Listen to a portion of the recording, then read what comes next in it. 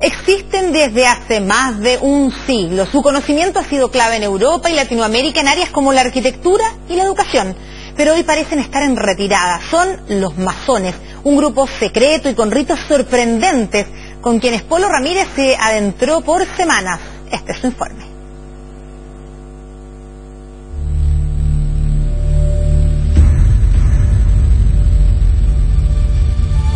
Lo de ellos siempre ha sido el misterio, los rituales secretos.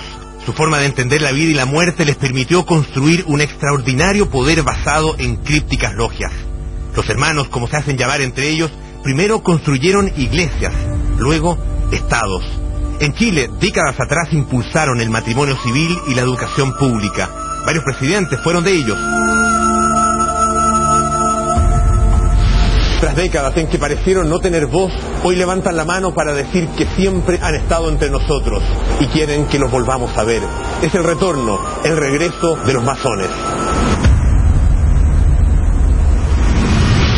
Hace 300 años, arquitectos y artesanos expertos en la construcción de catedrales decidieron alejarse de la fe católica y crear su propio sistema de dogmas y creencias. Cuando en todo el mundo se imponía el racionalismo, ellos se organizaron en logias o fraternidades basadas en crípticos ritos y estrictas jerarquías.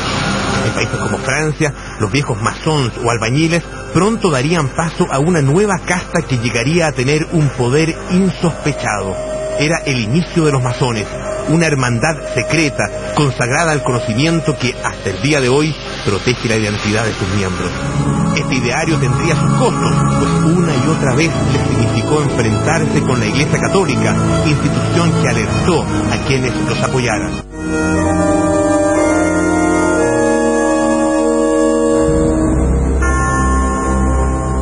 El padre Ramón Ramírez, miembro de la Orden de los Dominicos, es historiador, conoce en detalle la historia de la iglesia en nuestro país.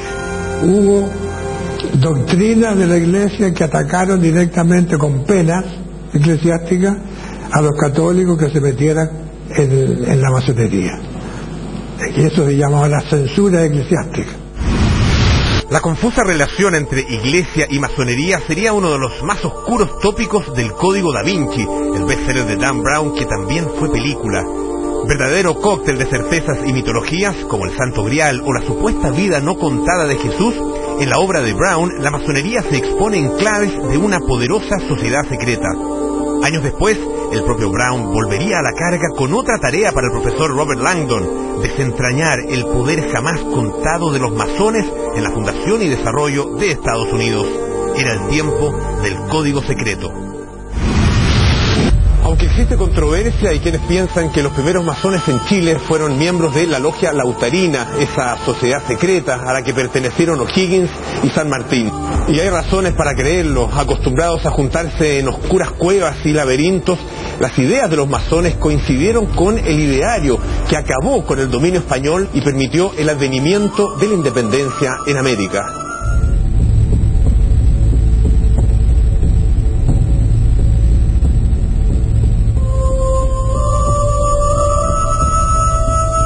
Felipe Santiago del Solar es doctor en Historia y cientista político de la Universidad Católica.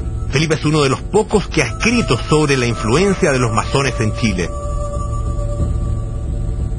La guerra de independencia es un momento en el cual hay apertura y se genera la posibilidad de que se, se implanten logias. La masonería se concibe a sí misma desde el siglo XVIII como una república universal, es decir, son ciudadanos del mundo. Entonces la masonería en sí mismo es una red internacional. Tras la consolidación de la independencia, los masones intentaron instalarse en el país, pero en su primer intento no lo lograron porque Diego Portales los alertó de los males que podrían sufrir de seguir en el intento. La historia daría un vuelco en Valparaíso, la ciudad donde los masones desplegaron su red en la segunda mitad del siglo XIX. Baldomero Estrada, profesor en el Instituto de Historia de la Universidad Católica de Valparaíso, ha investigado todo lo que tiene que ver con inmigración y conoce detalles del anclaje en el puerto. El desarrollo de la masonería coincide con toda una época del desarrollo, del impulso de la actividad económica de Valparaíso. Ellos generaron instituciones que se orientaron a crear escuelas, escuelas que, por lo demás tendrían una característica laica, es decir, ellos generaron una posibilidad de desarrollo educacional paralelo al de la iglesia. Viñamarino de a pie, en un breve recorrido por la ciudad jardín que incluye una visita al gran templo masón, Baldomero revela interesantes conexiones. Fundó Viña del Mar, don José Francisco Vergara, él era también masón. Uno no, no, puede desvincular lo que es la actividad de lo que se denomina la burguesía de la época con lo que es la actividad de la, de la masonería.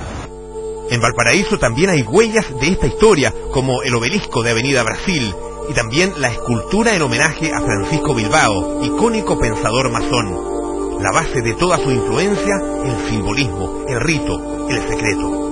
En Santiago, en Marcoleta, al llegar a Santa Rosa, está el edificio de la Gran Logia de Chile. Sus rincones más reconocibles solo se pueden visitar para el Día del Patrimonio, pero para este reportaje tengo la suerte de recorrer sus vericuetos.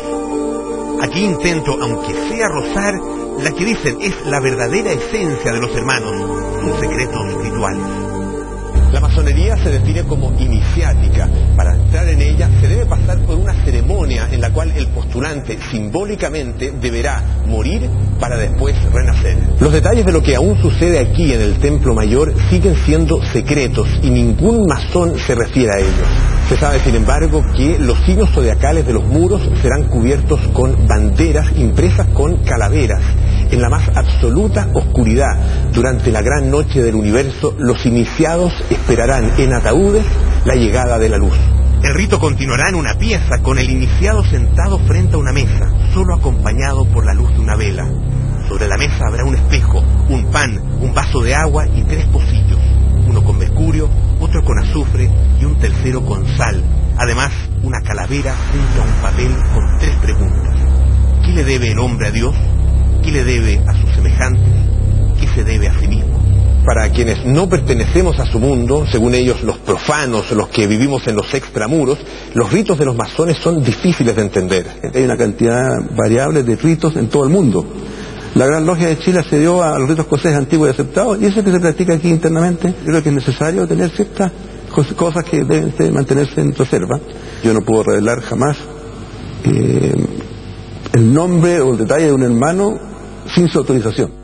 Se parte en la iniciación, se continúa con la educación que permite el ascenso a través de los grados de aprendiz, luego compañero y finalmente maestro, siempre bajo el precepto de la obediencia.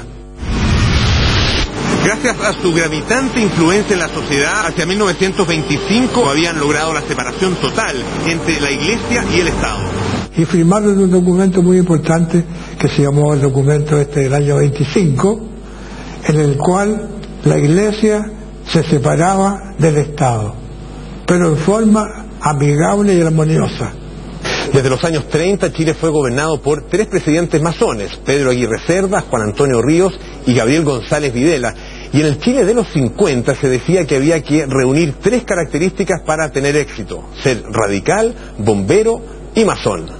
Entran, digamos, en todo en la Universidad de Chile, en el Instituto Nacional, tiene muchos vínculos sociales, por ejemplo, controlan todo lo que es el aparato de los bomberos a, lo largo y ancho de Chile, porque los bomberos son una asociación, ¿no es cierto?, que tiene una cobertura territorial. Están vinculados a todas las políticas sociales del periodo proteccionista chileno.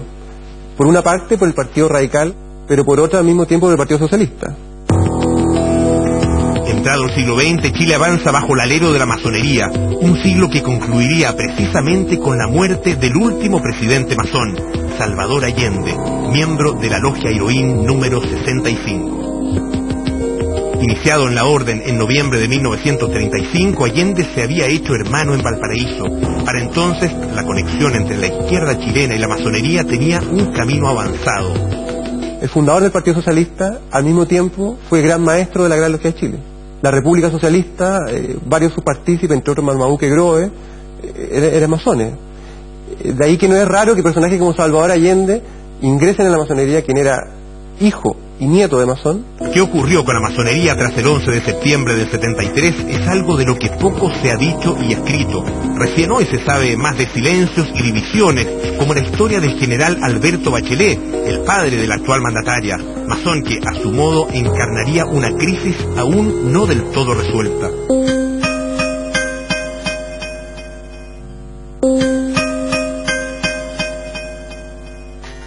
Periodista Nancy Castillo conoce detalles de aquello.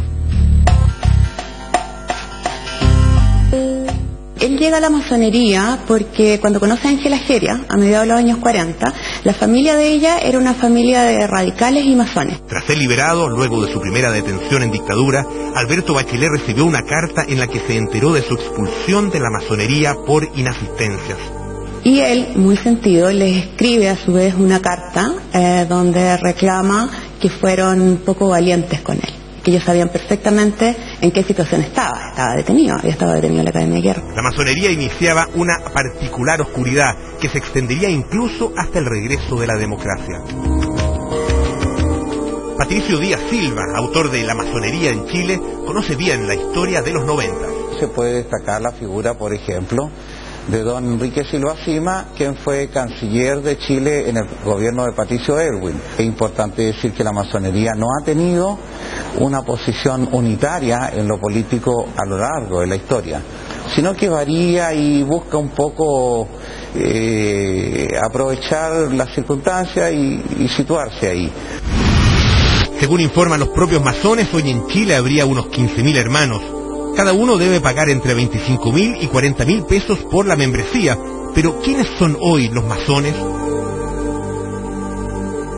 Yo creo que hay masones en la actividad política y en la actividad intelectual, en el Poder Judicial, por ejemplo, en la educación secundaria, en las universidades del Estado, en el Parlamento, muchos masones. No solo radicales, porque radicales son pocos ahora, pero también socialistas, como era Allende. Eh, incluso yo coincido perfectamente que pueden estar en la Renovación Nacional, incluso en la democracia cristiana y en las Fuerzas Armadas. Los esfuerzos de la actual masonería están centrados en la apertura. Hoy buscan reordenar la casa con transparencia y modernización. Nuestros hijos no están llegando a la masonería. Cuando uno conversa con ellos, ¿qué es lo que le dicen?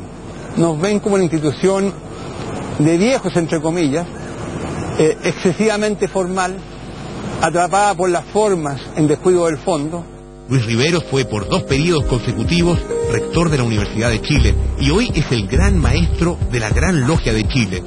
Según él mismo ha dicho, el principal desafío de su administración es lograr que la masonería recupere el sitial que antaño tuvo en la discusión de los principales temas país. Lo que hemos pretendido, ¿no es cierto?, en las gestiones de los últimos años, es que la masonería recupere esa vocación republicana.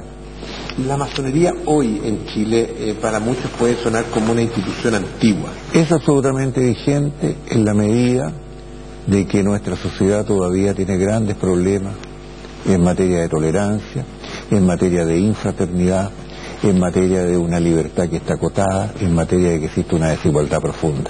Según los masones chilenos, su influencia sigue ahí, tan sutil que ni siquiera nos damos cuenta de su presencia. Quizás los masones nunca regresarán, tal vez porque nunca se fueron.